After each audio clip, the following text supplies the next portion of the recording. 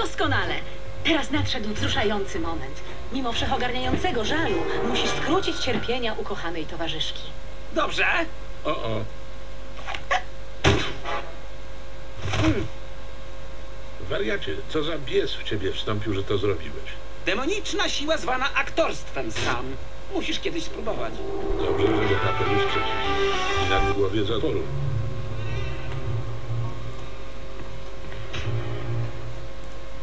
Chwila.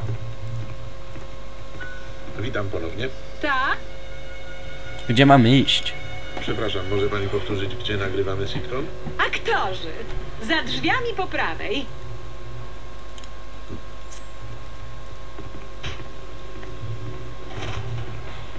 W porządku, ustawmy scenografię. Gwiazdy będą tu lada chwila. Zapomniałam, że ekipa pracuje u Eli. Durny, spasione beztalencie.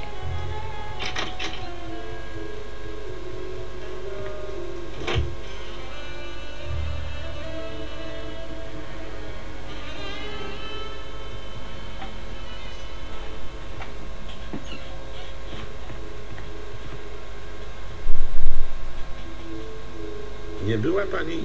Sądzę, że właśnie zaprzeczyła prawom fizyki. Przepraszam, zdziwilibyście się, ile razy dziennie muszę to robić. Żyjemy tu w szalonym tempie. To nam zupełnie nie przeszkadza. Sam i Max, wytrawni zawodowi aktorzy, meldują się na posterunku. Sam powiedziałeś na postronku. Wiedziałam, że nadajecie się do tego programu. Tak, a propos, mogłaby pani nam go opisać? Dobrze, już mówię. W miejskich kombojach gracie dwójkę rancherów, którzy próbują hodować stado krów w mieszkaniu na Manhattanie. Wujek Zygmunt to robił, tyle że ze świniami. I nie w mieszkaniu. Widzę tylko jedną krowę.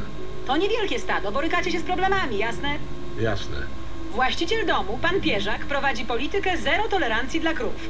Piekielnie niedogodne. Zaczynam pojmować, w czym tkwi ów dowcip. Tak, Pierzak często wparowuje bez zapowiedzi, a wy staracie się ukryć fakt, że trzymacie w mieszkaniu krowę. Dużo gagów i zazwyczaj kończy się czymś obrzydliwym. Proste? Świetnie. Gdzie scenariusz? Jest drobny szkopuł. Krowa zjadła większość scenariusza, więc musicie improwizować. Improwizować? Tak, wymyślać teksty na poczekaniu. Hmm, biorąc pod uwagę nasz tryb życia, sądzę, że damy sobie radę. Nie martwcie się, będziecie pracować z Hilarem Rostropkiem, który gra Pierzaka. To genialny aktor z klasycznym wykształceniem. Teatr Globe i te sprawy. Podrzućcie jakiś śmieszny pomysł, a on go pociągnie. W porządku, coś jeszcze? Jeszcze jedno. Udało nam się uratować jedną kwestię ze scenariusza i bardzo nam zależy, żebyście ją wykorzystali, bo to reklama sponsora. Jeden z was będzie musiał ją powiedzieć. Ja, ja, ja chcę! Dobrze, Max, masz powiedzieć. Lepiej kup pastę pełną gębą. Już mi się to podoba. Zacznijmy nagrywanie. Już bardziej gotowi nie będziemy. Zacznijmy nagrywanie. Dobra, pamiętajcie, właściciel czeka przy drzwiach, a wy nie chcecie, żeby się dowiedział, że trzymacie tu krowę. Gotowi? Akcja!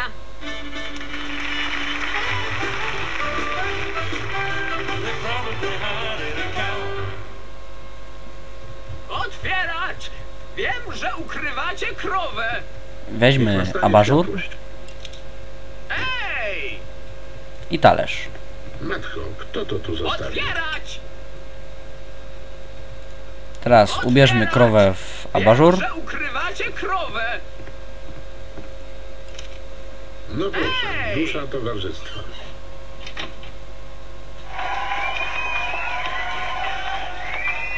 Ha! Wiem, że trzymacie tu. No, no, no, chłopcy, a kimże jest wasz gość?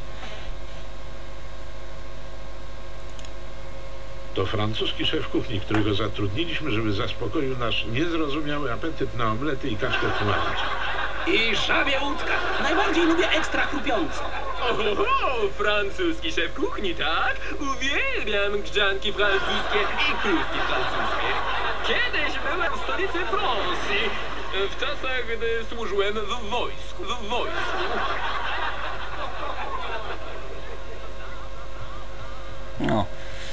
Nie przeczytałem mm, tekstu, który mówił Max, bo chyba logiczne, że mm, ta krowa wygląda prawie jak no y, ten kucharz. Więc zapiszę grę Mm, na tym, jak będzie. Teraz chyba mogę tutaj postawić na krowim placku talerz. Tak mi się wydaje. Ojojoj. A może nie? Zaraz, zaraz! Co to? A może? E, przepraszam, co? Co on mówił? Mugugaipan. Pyszna potrawa. Powiedział Mugu Gai Pen. To francuskie danie, które nasz kucharz właśnie przygotował. O, o, wspaniale! Chętnie skosztuję. Gdzie talerz? Nie mogę się pozbyć uczucia, że coś tu jest bardzo nie tak. Aha! Smacznego. Ciekawe! Można tak to ująć. Skąd ci znam ten smak? Czy to koper włoski? Raczej wiechlina z Kentucky. Mumu coś tam naprawdę mi smakuje. Jak to się nazywa po naszemu? Krowi placek! Naprawdę? To ciekawe, brzmi zupełnie jak...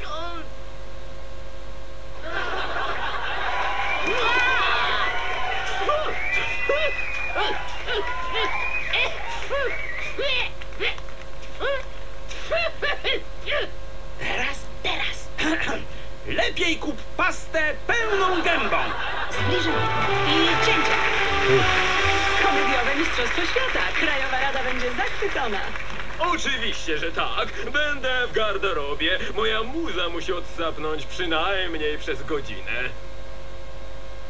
Dobra robota, panowie. Oto nagranie. Dzięki. Wracamy do poprzedniej dekoracji.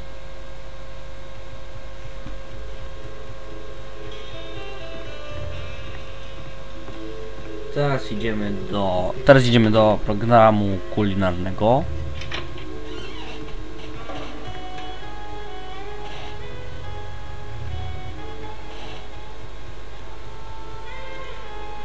Podchodzimy do kotła. Witamy w Nie patrzymy, co pichcimy. Programie kulinarnym dla kawalerów. Żadnych warzyw, owoców ani zdrowych składników. W programie przypadkowo wybieramy dodatki oraz ledwo jadalne przedmioty i w parę minut tworzymy z nich potrawę. W tym tygodniu zamiast Kamila Omasty wystąpią ci panowie. No, zaczynajcie. Witam w programie. Dzięki sam, wspaniale tu być. Nie ciebie, głupku. Publiczność. Witajcie pełni uwielbienia fani. Pamiętajcie, oglądacie mnie w telewizji tylko dlatego, że jestem lepszy od was. Mamy ręce pełne gotowania, więc bierzmy się do pracy. Co dziś przyrządzimy? Przyrządzimy dziś tort. Dziś upieczemy tort. Obejrzyjmy półeczkę ze składnikami i dodajmy przyprawy do kubła. Sam to zdecydowanie jest kocioł. Max, ty się skup na jedzeniu, dobrze? Weźmy tweed. Oczywiście bez tweedu nie ma prawdziwego kawalerskiego gotowania. A oto wskazówka. Tweet służy nie tylko do gotowania. Nadaje się również na tupeć. I obo, obo, obojętnie co tu możemy wziąć. Może być nawet jedno. Więc ja to już wsadzę do pieca. Opiekamy to sam? Zgadza się, przyjacielu. Wsadzamy do piekarni i dzięki magii czasowej programu kulinarnego wspaniały, przepyszny tort. O rany. Dobra, mamy już tort.